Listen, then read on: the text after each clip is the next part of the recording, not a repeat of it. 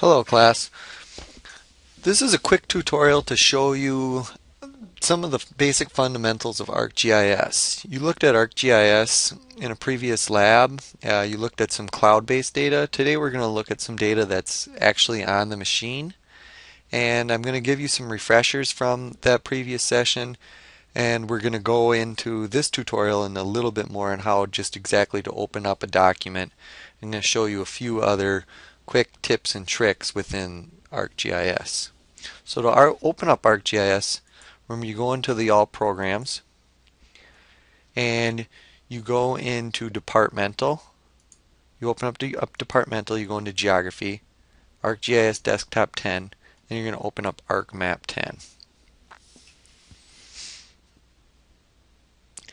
And ArcMap is a pretty big software package, so it takes quite a bit of time to open and we go in here and we see a bunch of different maps that are recent. Now I recently had opened up World Earthquakes, but I'm going to show you how to open that without taking the shortcut. So I'm just going to hit cancel there.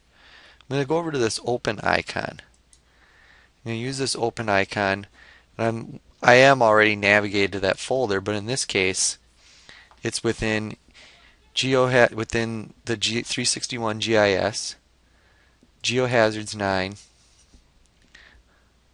Earthquake Geology, and World Earthquakes. I'm going to open that up.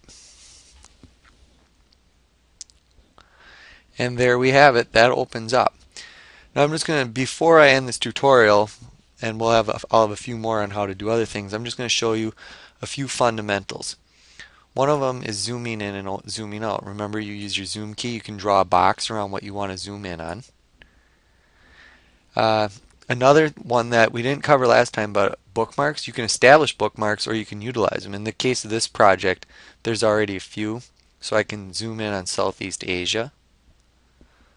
I can zoom in on the Mediterranean. And that's just a way of zooming into areas without having to move around too much. Another one is turning on layers and turning them off. So if I want to turn off earthquakes, I just check that box and I can turn them on or off. Cities, same thing. Plates, turn them on, turn them off. Even countries I can turn off. Kind of get an idea of the outline of the countries. Another tool you can use is the query tool. And the query tool is where you can go to selection and you can select by attributes. We'll take a look at that tool later on.